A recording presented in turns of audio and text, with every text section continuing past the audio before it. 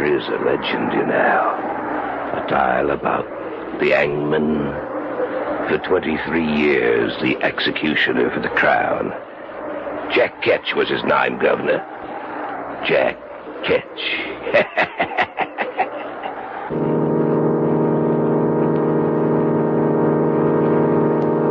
I remember we were on our way back from the lake. Jim and Carol and I. And for some reason, we started back to the city later than usual. We hadn't been driving for more than half an hour when one of those sudden spring storms. Now, where did that come from? Someone said there might be a storm tonight, but I thought we'd be home before it broke. Well, we'd better put the wipers on. We started back too late tonight. What, uh, what was it that held us up, Jim? I don't know. A lot of things. When I finally looked at my watch, I couldn't believe my eyes. Arnold, look Huh? out. There's a man right in front of the car. You stay here, Carol.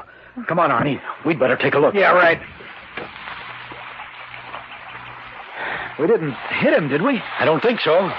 Now, Why would someone be out in the middle of the road on a night like this? Yeah, there's a lot of crazy people in this world, Arnie. Ah, he must have been one of them.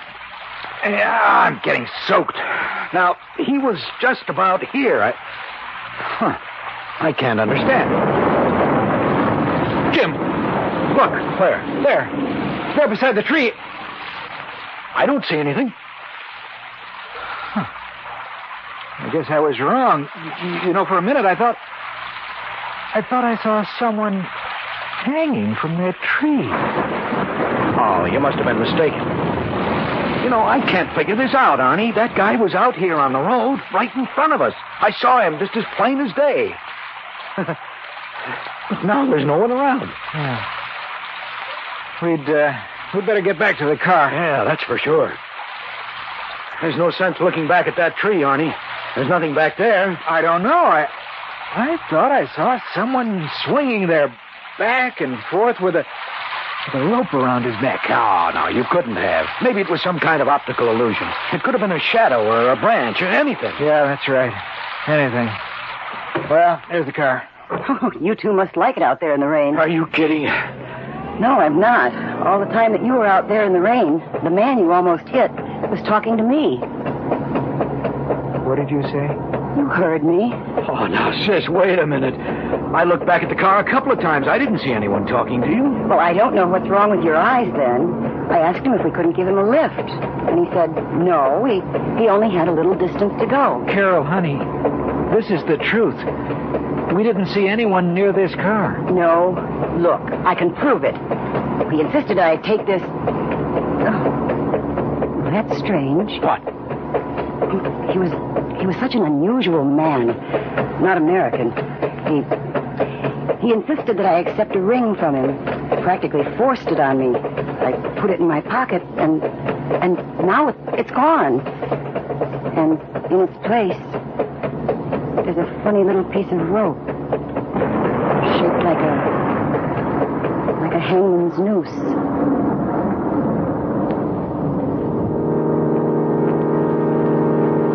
I knew Carol wasn't lying to us. I asked her if she would let me have the little piece of rope. After I dropped them off at their place, I went home, took it out, and set it on the table. I can't explain it, but there was something about that rope which seemed old.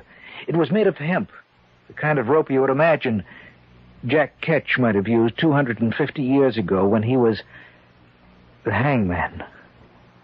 That night, as I slept, my sleep was troubled.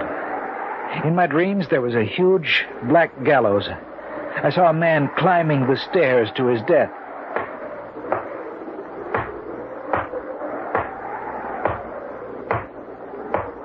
He reached the top and stood there. Standing beside him was a black hooded man. He raised his hand and the trap door sprung open.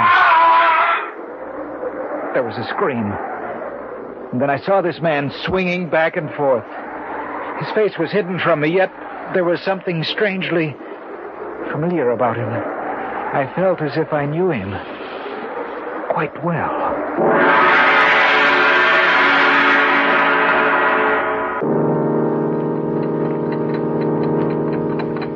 When I awoke from my dream. I couldn't get back to sleep. For in the black blankness of sleep, I had come into contact with death. As the morning approached, I fell into a nervous sleep. I was awakened.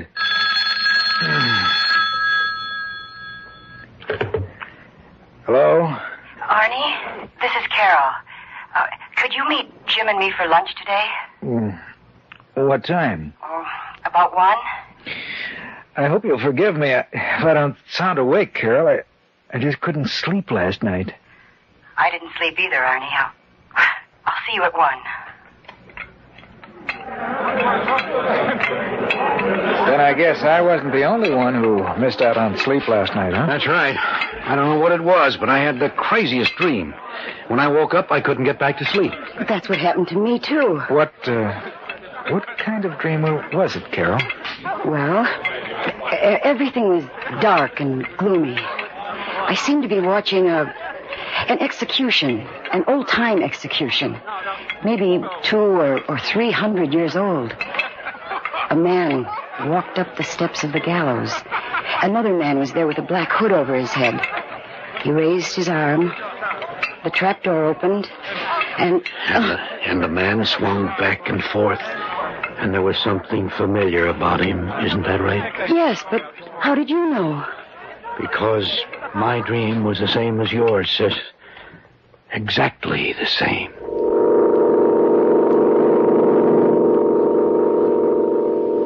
Jim's and my vacations were due the following week.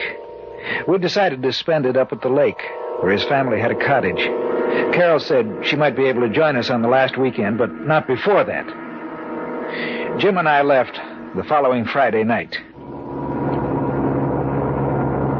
Well, I can certainly use this vacation. And maybe we can catch a few northerns this time, huh?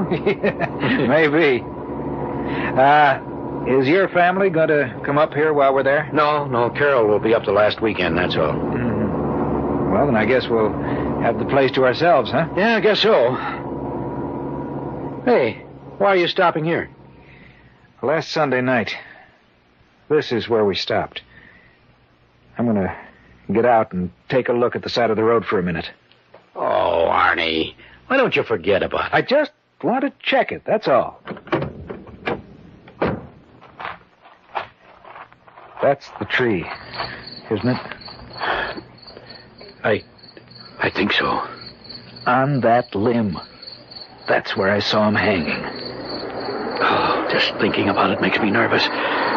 Come on, let's go back to the car. All right. Carol said that while we were out of the car, she was talking to the fellow we saw. If that's the case, I can't understand why we didn't see him, too. You know, Jim, there just wasn't enough time for him to get away from the car without our seeing him. Unless. Unless what? Unless he was never there. Oh, but that could. Arnie! Look! In the car seat. Another little piece of rope.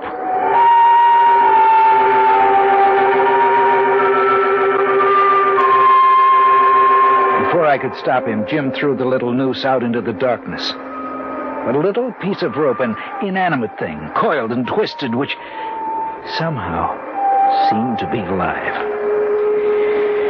We reached the cottage perhaps half an hour later, and though we were both disturbed by what had happened, still it didn't interfere with our sleep. The next day, we went out fishing early. Had little luck and were on our way back to the cottage when the woman who owned the property next door stopped us. Good morning, Mr. Stanley. Oh, good morning, Mrs. Bennett. Uh, out for the weekend? Well, for the next two weeks. Oh, excuse me, uh, Mrs. Bennett, this is Arnold Slade. Uh, pleased to meet you, Mr. Slade. Well, thank you. Same here. Ah, you must be that young man that Carol's going to marry. Uh, yes, that's right. Ah, she'll make you a fine wife, Mr. Slade. uh, uh, yes, uh, uh, the reason I stopped you, Mr. Stanley, is, is this. There's something strange going on out here. Oh, what do you mean? Well, the constable came by the other day and asked me if I'd seen any strangers here. A couple of people have died over on the other side of the lake. And the constable ain't been able to find out what happened. How. How did these people die? Well, That's what's so strange about it. Both of them were killed by hanging. Hanging? That's right. Old Mr. Taylor, who, who lived about a, oh, a mile down by the shore, he was one of them, and he couldn't hardly walk. They found him swinging from a tree, but he was several feet off the ground, and nobody can figure out how he got up there. What the woman had said frightened me. It seemed as if we were getting deeper and ever more deeply into something from which we would never be able to get away.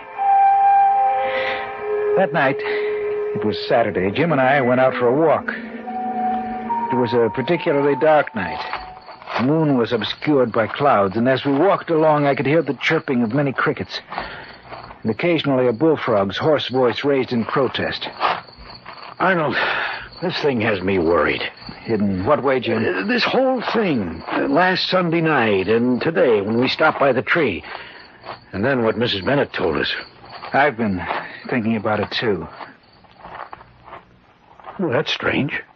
What? The crickets have suddenly stopped. It's too quiet.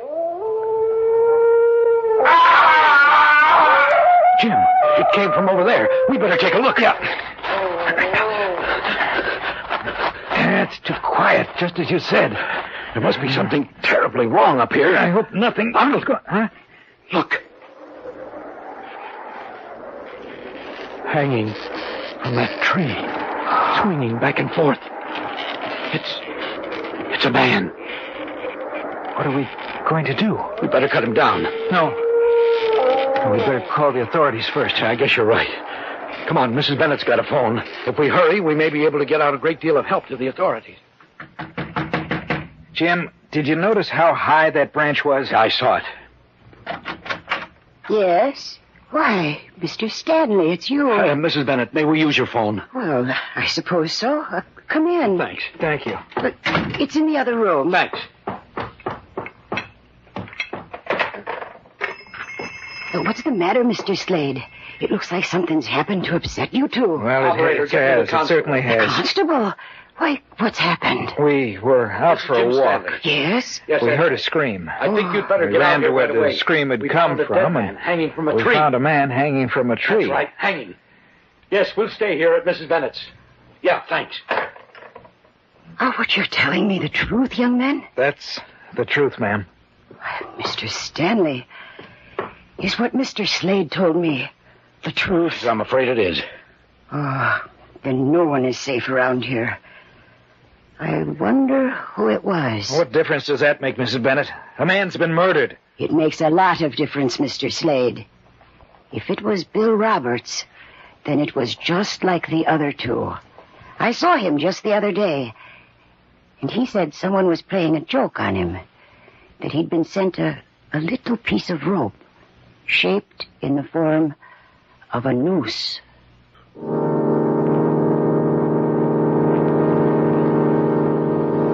A little piece of rope. Both Jim and I stared at each other for a moment.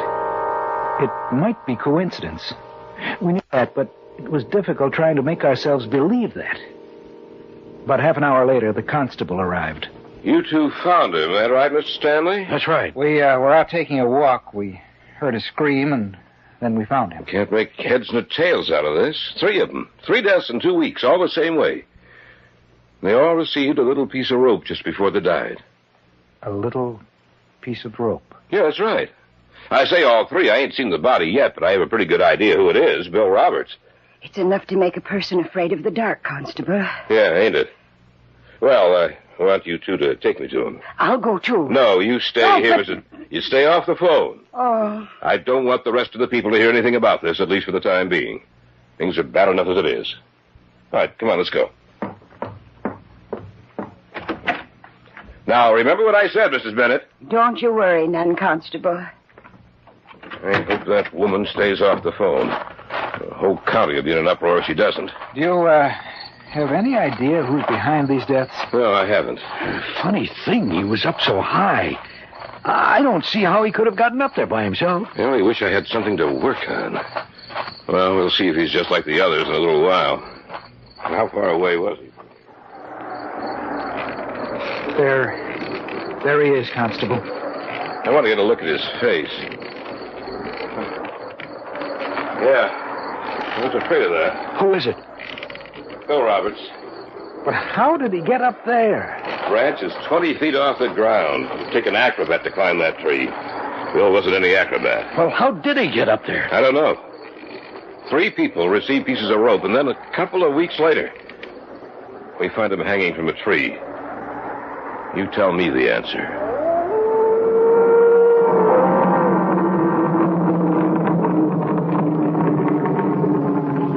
We cut him down, but it took almost an hour to get up on that branch to do it. We put him in the constable's car and drove him back to town. Before he left, we told him that we too had received the little gift, the noose of rope, which had been in three instances the forerunner of death.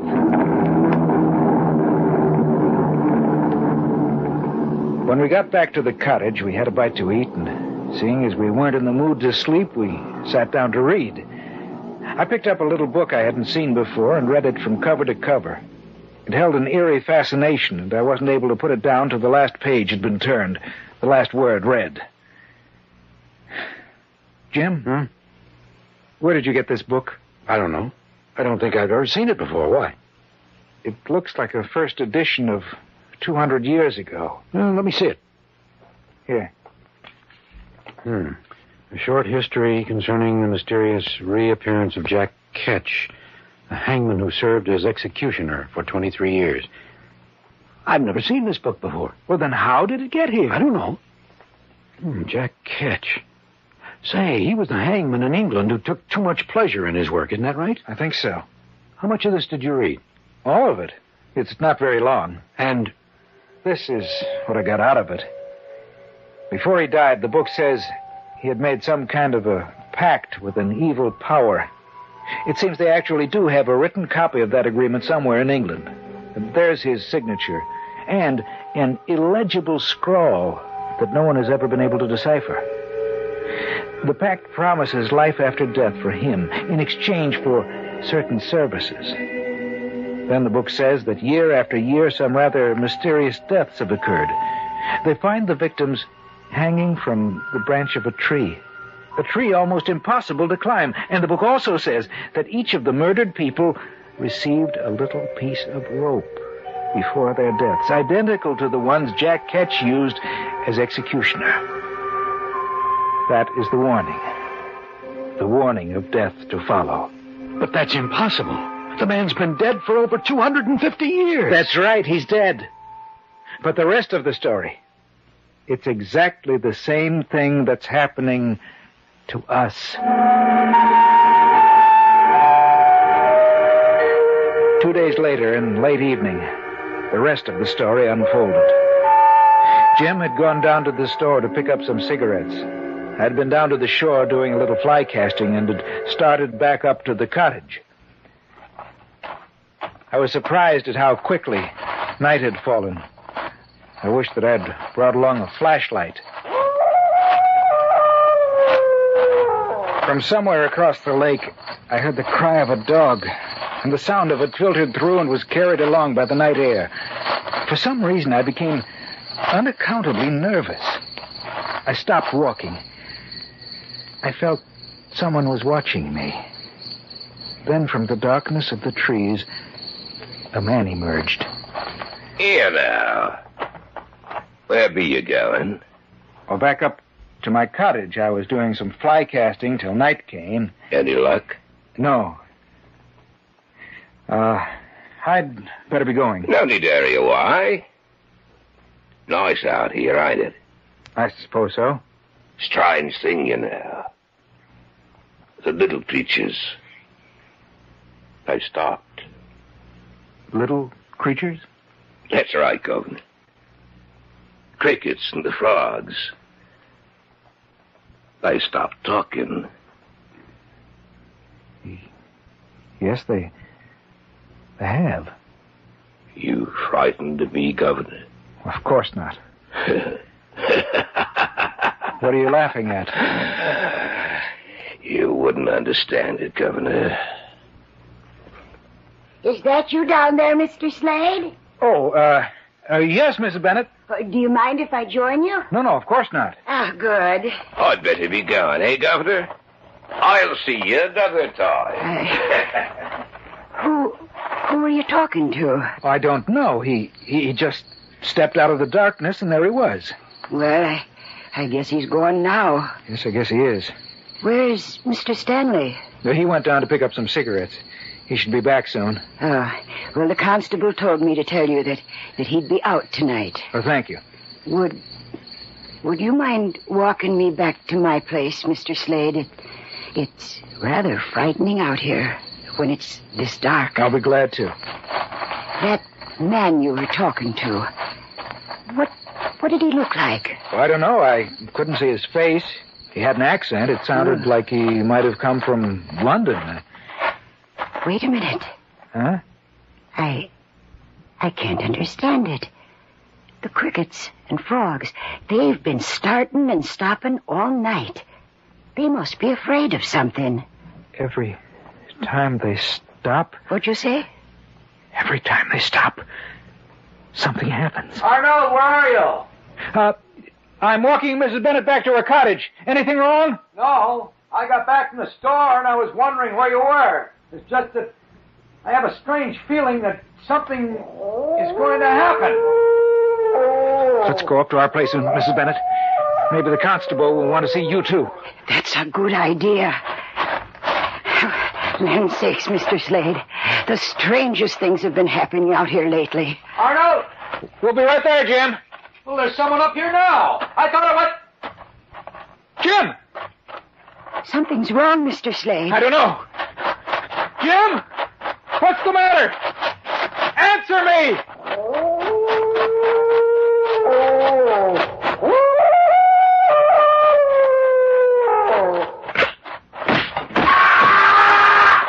Mr. Slade, look!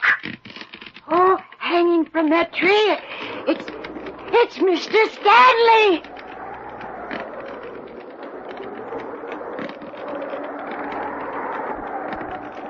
There is a legend, you know. A about the hangman. For 23 years, the executioner for the crown. Jack Ketch was his name, Governor. Jack.